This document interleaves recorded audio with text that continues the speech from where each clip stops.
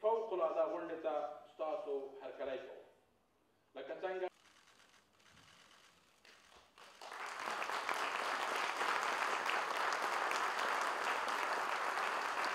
زموږ د هیواد مبرمو ضرورتونو ته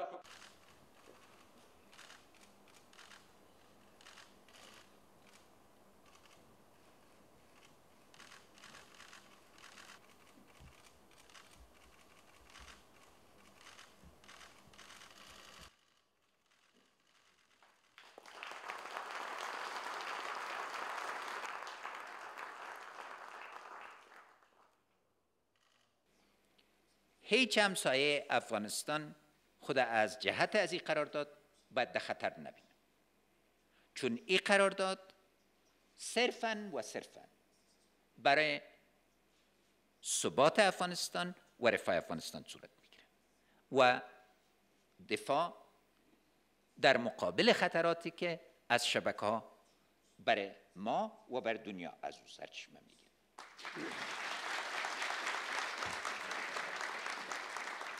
یک قدم اساسی است که ما را انشاءالله کمک می‌کنه تا با اجرای مفادی موافقت نامه در سالهایی که در پیش رو داریم افغانستان بتانه روی پای خود بیسته از لحاظ تأمین امنیت و ثبات در کشور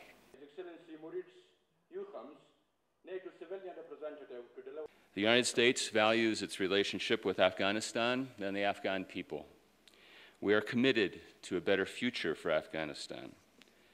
We are eager to work with President Ghani and Chief Executive Officer Abdullah and a new Afghan government to achieve more success in the coming years.